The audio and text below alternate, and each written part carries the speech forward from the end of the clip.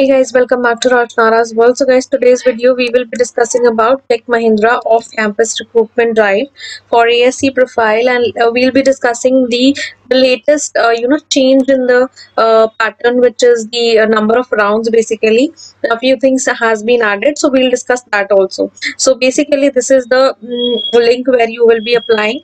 You have to cl uh, click here and this is as you can see here that this is for MCA um, you know candidates who can apply so these are all the eligibility criteria I would um, like to highlight here is that all engineering stream branch are eligible like computer science computer engineering IT ECE uh, sorry uh, ENC and E, ENTC and telecom communications and electronics can also apply. MCA or MSc in computer science can also apply for this particular uh, profile.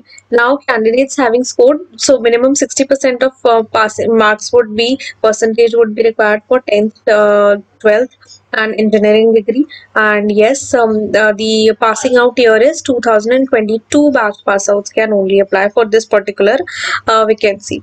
Uh, apart from this uh, if we talk about the uh, gap uh, so in the education is not more than one year gap in between any two academic programs. So high maximum they are allowing is one year gap. Next is if you have uh, ever applied in like uh, tech mahindra before like past six you should have a gap of six months between the next uh, you know registration process so this is the overall eligibility criteria. Rest you can check um, in details. And for uh, you know percentage criteria uh, you have to mention percentage or if it's it's a cgpa then you have to mention that.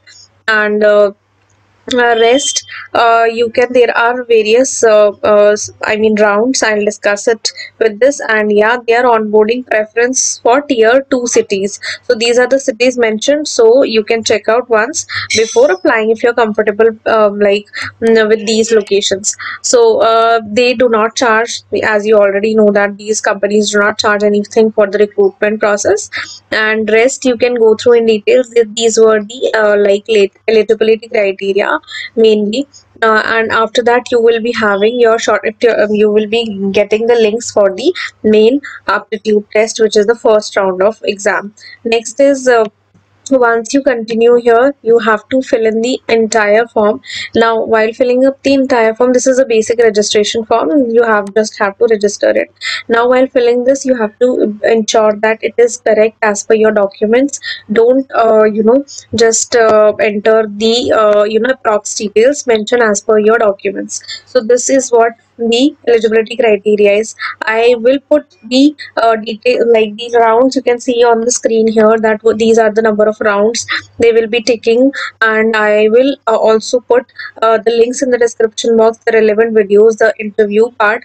And the chatbot interview has been in uh, this time uh, you know included in the process. So you can just go through that chatbot interview uh, how it is what is all about. So you can go through in details and the latest interview part how was the interview? So you can go through in details i have also mentioned. So this was the update about tech mahindra. In case uh, you have any doubts let me know and do share with your friends and don't forget to subscribe to the channel guys.